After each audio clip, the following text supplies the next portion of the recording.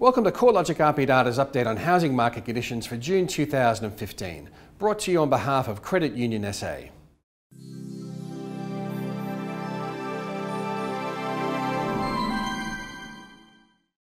Last month we saw the rate of capital gains take a breather with dwelling values down 0.9% according to the CoreLogic RP Data Hedonic Index. Despite the month-on-month fall, the housing market trend remains very strong in Sydney and Melbourne, while most other cities are experiencing more modest conditions. The weak monthly result can be attributed to several factors. Firstly, the capital gain result for apartments was substantially lower than what was recorded for houses. Unit values were down 2.3% over the month across the combined capitals compared with a 0.7% fall in house values. This trend can be seen across each of the capital cities, however, it is most pronounced in Australia's two largest cities, in Sydney and Melbourne, where apartment values had shifted 2.8% and 2.5% lower. The slower rate of capital gain in the apartment sector can probably be attributed to the higher supply levels across the multi-unit sector compared with detached housing. Additionally, we're likely seeing some natural correction in the index after dwelling values rose by nearly 4% over the first four months of the year.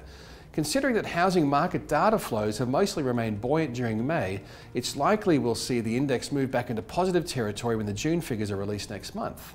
Auction clearance rates have maintained their readings at close to record high levels, Advertised property listings remain lower than a year ago, and homes continue to sell rapidly in Sydney and Melbourne. Once again, the strong data flows relate mainly to the Sydney and Melbourne markets, while most other capital cities are generally showing softer indicators. Looking at the level of capital gains across the past 12 months, dwelling values have moved 9% higher across our combined capitals index, taking values 24.2% higher across the current growth cycle, which incidentally marks its third year anniversary this month.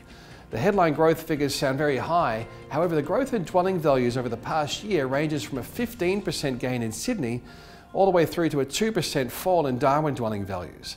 In fact, outside of Sydney and Melbourne, the next best performing capital city over the past year has been Adelaide, where values are 3.4% higher. Moving on to rental markets, the rate of growth in weekly rents has fallen to its lowest annual rate on record at 1.5% growth over the past 12 months. Hobart's recording the fastest increases in weekly rents of 3.5% per annum, while rents have fallen in Darwin, Perth and also in Canberra over the past year. The soft rental market conditions are seeing rental yields trending lower each month, with a typical capital city dwelling now showing a gross rental yield of 3.7%, which is 40 basis points lower than a year ago.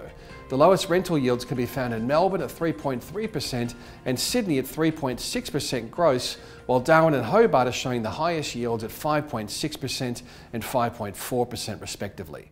Adelaide's housing market has taken over from Brisbane as showing the third highest rate of capital gain across Australia's capital cities over the past 12 months.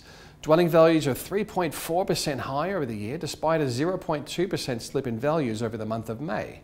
The gains are almost entirely due to growth in the detached housing space, with Adelaide house values up 3.5% over the past year, compared with a 1.8% rise in unit values.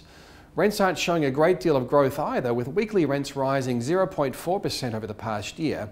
However, gross rental yields remain above the capital city average at 4.2% for houses and 4.9% for units gross. With interest rates moving even lower in May, we are expecting the correction recorded over the month of May could be short-lived. Values are likely to resume their upwards trend in June, once again driven by Sydney and Melbourne. However, we are expecting the rate of growth could begin to moderate as the banking sector looks to tighten lending for investment purposes, as well as limit the growth in interest-only loans and low deposit loans. With investors now comprising more than half of all new mortgage originations, a tougher lending environment for this segment of the market could dampen demand enough to ease the level of capital gains. Tightening investment lending will impact Sydney more than other markets, with investors now comprising 60% of all new mortgages across the New South Wales market. Other constraints on buyer demand are housing affordability and the low rental yields on offer across the most active housing markets.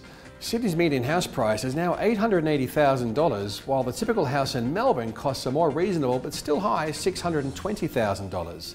The high prices are likely to act as another barrier to entry for many buyers. With rental yields for houses now in the low 3% on a gross basis in Sydney and Melbourne, prospective investors might start considering other asset classes or housing markets where rental yields are substantially higher. Thanks for viewing our latest update on housing market conditions across Australia. Of course, you can always find fresh and interesting research on the local housing market at our website and research blog located at www.corelogic.com.au.